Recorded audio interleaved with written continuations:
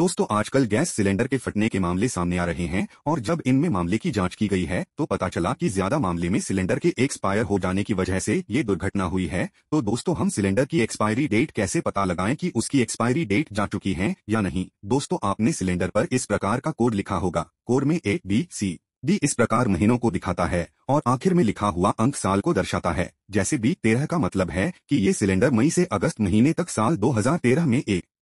सपायर हो चुका है अगली बार सिलेंडर लेते समय उसकी एक्सपायरी डेट चेक करना ना भूले और ऐसी जानकारी पूर्ण वीडियो के लिए चैनल को सब्सक्राइब करें